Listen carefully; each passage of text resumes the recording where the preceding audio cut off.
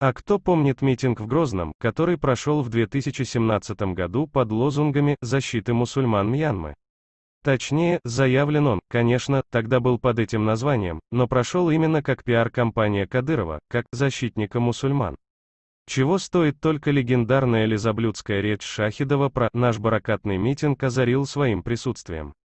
Но речь не об этом, а о том, что тогда Кадыров публично выражал готовность выдвинуться туда для защиты мусульман. Но, как это у Кадырова всегда бывает, все ограничилось лишь болтовней. То есть в защиту мусульман Мьянмы Кадыров никого не отправил, но как только Путин отдал приказ отправить одноразовых на войну в Украине, Кадыров призывает весь народ езжать туда и воевать, сидя в своем золотом дворце, говоря, что там настоящий джихад, а также отправляет туда наемников за деньги. Показательное сравнение, не правда ли?